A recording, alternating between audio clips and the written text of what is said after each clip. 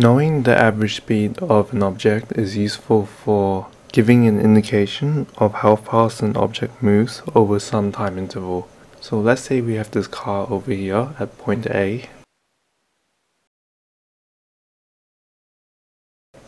And the car moves to point B over here. And let's say the distance from point A to point B was 200 kilometers. And the time taken to travel from point A to point B was two and a half hours. So if we were to determine the average speed, we have this formula over here.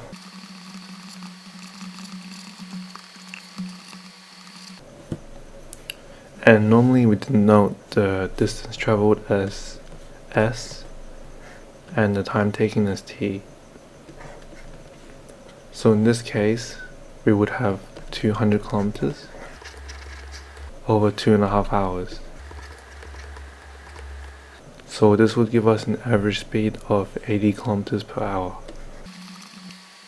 However, you should note that even though the average speed was calculated to be 80 kilometers per hour, the car was probably not traveling at 80 kilometers per hour the whole time. It may have, say, traveled for 100 kilometers per hour, then stopped for a bit at a traffic light, then kept going at 90 kilometers per hour. So this is why we use the word average, because this is the average speed it took for the entire duration.